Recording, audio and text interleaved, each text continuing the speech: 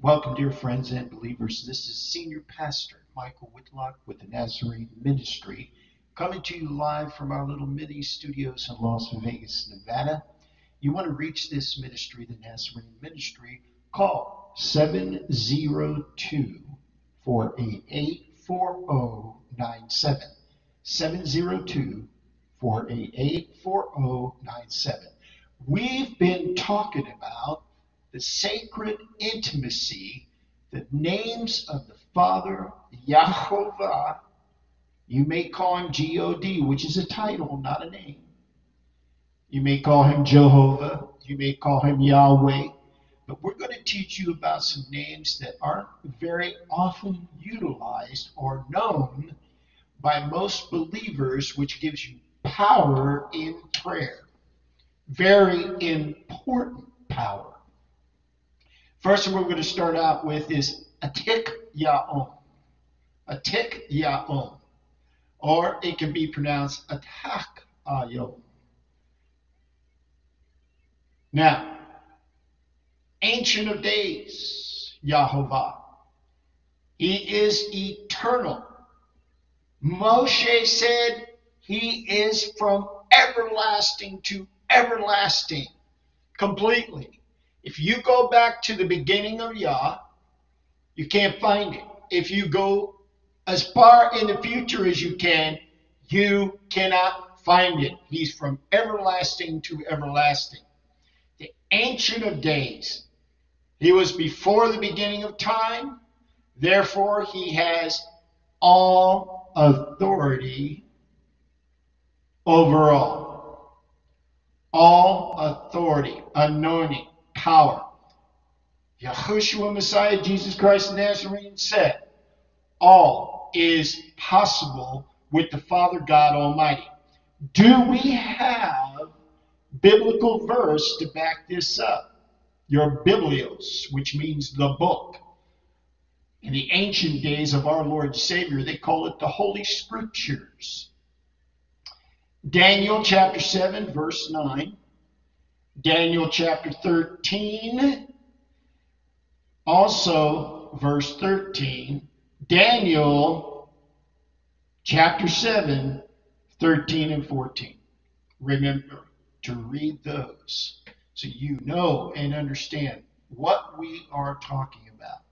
The next name that most people have not heard El means God, Dia Yahovah of um, knowledge. You've heard me pray many times. Yahovah, we want, we receive, we need, we got to have your divine supernatural knowledge. Oh, blessed Father God, release it to us. Loose it from the heavens, from your holy throne, through your Son, through the Holy Spirit to us. El Dia.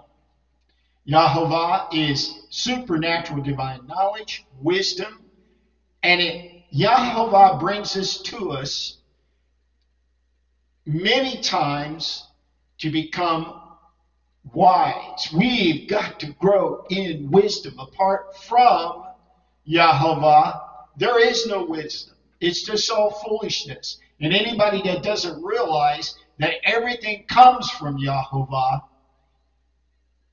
they're not wise. They don't understand the way of Yahovah. True believers know everything. So even if I, who went out and earned money doing part time work or ministry work, whatever, and I give it to somebody, where did it really come from? From Yah, who has touched my heart to help someone else and utilize me to get that money to them or services or goods, food, whatever. Someone needs help moving something. Yahovah says in his law, I am to help them move. So uh, I've had neighbors and I've seen them with U-Haul trucks or whatever, and I walk up to them and go, You want help carrying this into your house or from your house to the truck? And it usually shocks them and catches them very off guard. But I help them. And that's the law of God. So, in understanding that, we respect Yahovah and keep his commandments to love one another. We will know Yahovah as he is and his wisdom will guide us. His wisdom will guide us. So this is very important we understand this. El Dia. He is all knowledge. Now, we find that in 1 Samuel chapter 2, verse 3. Oh, Romans is really good. Paul writes very eloquently about Father God Almighty. Romans chapter 11, verses 33 through 36. First Corinthians, of course, this is written by Paul. First Corinthians chapter 1, verses 18 through 31. You want to look those up and study, and you're going to find a lot of knowledge that you might not have had before. Now we're going to be looking at Psalms 139, verse 13 through 18. El Tuol. Yahovah, who gave birth, is our creator. He gave us birth.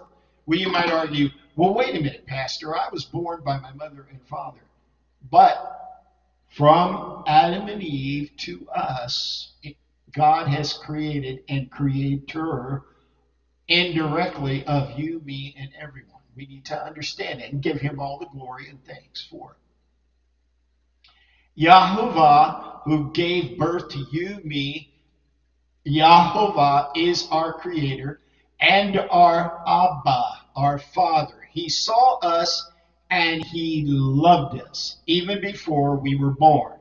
So, he knew us, our souls, who he created in heaven. So, that is the direct creation that came to your mother's womb is your soul. You got to remember that. Yahovah saw our soul, loved us, sent it to your mother's womb. He has a plan for your life. Now, this is so critical. He has a plan, a destiny, a will for your life. And if you walk with Yahovah, He will fulfill His will, His destiny, His plan, and your dreams. He will fulfill them over your life, and it will amaze you. Totally amaze you. Now we go on to El Shaddai Roi. Now most people will pronounce this Roi because it's R O H I, and in America we pronounce I I. But that's wrong. From the Hebrew in Aramaic, E I is pronounced like two E's. E E. So it's actually El Shaddai Roi.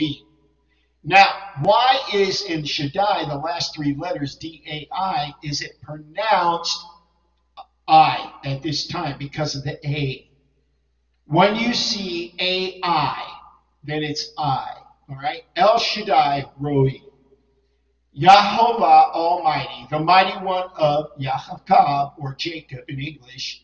Yahovah is not just another Elohim or an El like the countless idols. Idols don't breathe, they do not live, they cannot change the weather, they cannot change planet planet movement, rotation. They cannot do any of that. But Yahovah did and can. So Yahovah truly is the almighty creator of heaven and earth. We can figure this out in Genesis 17, chapter 17, verse 1, chapter 49, verse 24, Psalm 91, one of my favorites, read the whole thing, and Psalm 132, verses 2 through 5. Study those. They will immensely bless you. Now we move on. El Roi. Now, once again, R O I, people want to pronounce it Roi, but it's actually El Roi. Our Father God, Yahovah, is strong. Strong. He is the strong one, his strong right hand. You'll read about it in different places in the Bible where by his strong right hand he delivered them from the Egyptians. This is when the seas were parted, they crossed on dry land, and Moshe identified, praised, and worshiped the Father God Almighty that by his strong right hand he delivered all the slaves who came out of Egypt. Now, once again, I'm going to remind you again, and bear with me. Not just Israelite slaves, Ethiopians, Greeks, Turks, Arabian slaves, Asian slaves, because they all traded with Pharaoh, and one of the commodities that they traded to Pharaoh were slaves, a labor force for free. Now, so understanding El Roi, strong one who sees. When you feel lonely and abandoned by people, know that Yahovah is with you. Yahovah sees you and he knows you. He hears the cry of your heart. Now, in the Bible, we also hear the words that God says to Cain when he says, The blood in the earth cries out. The blood of the brother of Cain, Cain and Abel. His blood cried out from the earth to Father God Almighty. He could hear it. Why? There's life in the blood. It has sound. It has vibration. Scientists have proven all of this. I'm not asking you to believe it. It's the science. So, long story short, he reads and knows your heart. Messiah said very clearly in the scriptures that Yahovah, God Almighty, can read men and women's hearts. We can't hide anything from God. Don't even try. He hears the cry of your heart, and He loves you more than you can imagine. He will lead you through and fill your heart with His love, mercy, grace, favor, and His praise. Imagine God holding you, lifting you up, knowing you, praising you as you praise Him. Because when we praise Him, He praises us. Now just think about that. God is a loving God, and just like your father lifted you when you were a small child and looked at you in the sun and was in awe of who you are. God is your loving Abba, your loving Father, and He feels exactly the same way. Now we're going to be looking at the verse of Isaiah chapter 40, verses 28 through 31. El Olam. Everlasting Yahovah. Yahovah is eternal, while your problems are very temporal or temporary. His love never changes. His promises are true. Now, there are two things about the Father God Almighty that He will not do. Yahovah Himself, describing Himself, said, I am not a man that I can lie, and I am not a young man that I can change my mind. What He says to us are commandments and forever. He will not break a covenant promise. You can count on that. He is pure truth. Yahushua said to us. Actually, he was speaking to Thomas in the Holy Scriptures, and he said to Thomas, I am the way and the truth and the life. No one comes to the Father except through me. Now, once again, you've got to read Isaiah. Isaiah was one of the most perfect prophets. His prophecies, past, present, and future came true. Now, our everlasting Father Yahovah, all right, build your structure, your being on Him. He is your eternal Father God Almighty. And do not focus on temporal situations, temporary situations. Don't let Satan drag you into that kind of focus. Focus, concentrate on the holy scriptures of the Father God Almighty, on God Himself, and on God who became a man to walk on earth. That's Emmanuel, the person Yahushua Messiah, Jesus Christ the Nazarene. Focus on the Holy Spirit and know that your prayers will be answered. He will show you his great and eternal goodness. Amen. Amen.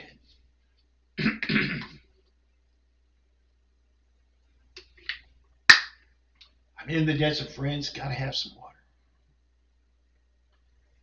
Now, another name that I find that most people do not know El Gibor. Spelled E L dash G I B H O R. Yahovah, mighty God. El means God. Yahovah is mighty to save. His arm is not too short to save. Whatever problem you are facing, know that your Yahovah, God Almighty, or Elohim, is El Gabor, mighty one, who can and will save you. Now, looking at the verses of Isaiah 9, chapter 9, verse 6, you'll find out that is absolutely true from the Holy Scriptures. Now, this is one of my favorites, and I may have covered this more than once. El Elyon. This was one of the favorite callings of Jacob. It means Yahovah, Most High God. Do not fear the enemy who tries to intimidate, belittle, shame you, dehumanize you. You are a child of Yahovah. Know that your God Almighty, Elohim, Yahovah, Most High God, He is there and there is none above Him. Even Yahushua Messiah, Jesus Christ the Nazarene, exalted God Almighty and said his name is above every name. And when he was asked, who is good? He said, There is only one who is good, referring to the Father God Almighty. Very important we understand that. Elohim, you hear me say it many times from the Holy Scriptures that I read to you over and over again. It's from the Hebrew into the Scriptures, Elohim, meaning God, Elohim. God is creator, powerful, and mighty. I always describe it as Almighty God. Yahovah is Lord of Lords. He is the Lord Most High. Even Yeshua gave this worship and praise to the Father God Almighty. Stronger and mightier than anyone or anything when you face the impossible circumstances or adversaries, now you need to know Yahovah's strength. And knowing that, you will always have victory. Yahovah Gemalot, the God of recompense. Yahovah is the God of recompense. Yahovah says in Romans 12, Vengeance is mine, I will repay. Some translations say, Vengeance is mine, saith the Lord. We should never avenge others for what they do to us, but leave it in Yahovah's hands. Many times I have come into trials or tribulations with people, and I always forgive them, and I say, Father God, I put them in your hands. I have forgiven them. You know better than I, you are wiser than I, exactly what to do. And He'll take care of it. Now, this one is critical. Yahovah Sabaoth. Earlier today, one of the elders had to go out and do errands or whatever. Uh, uh, called let me know. And I said, May the angels, the sacred and holy angels of Yahovah, guard you, protect you, keep you safe in all your travels and journeys. Amen. Yahovah Sabaoth means God Almighty of hosts. The host of what? The angels in heaven. The scriptures mentions myriads of angels, or from the Hebrew messengers, who wage war against the armies of hell, who try to destroy mankind. Do not be fooled by Satan and what he commands. He will try to tell you, "Oh, I'll give you all this power. I will, you know, sell your soul to me. I will give you all of this." He even tempted with our Lord and Savior. He took him up on a high place. He showed the kingdoms of the world. He said, All of these kingdoms I will give to you if you'll fall down and worship me. What did our Lord the Savior say? From Deuteronomy that he only worshiped Yahweh. This is the problem from Genesis. Yahovah wanted to keep Adam and Eve absolutely innocent. Do not eat from the tree of knowledge because it is the tree of good and evil. Two powers, not one. If Adam and Eve would have not eaten from that tree, we would have known one power Yahovah Elohim. We would have had his full and absolute protection. He would have walked with us in the cool of the evening every day. What did they do? They broke what Yahovah asked them not to do.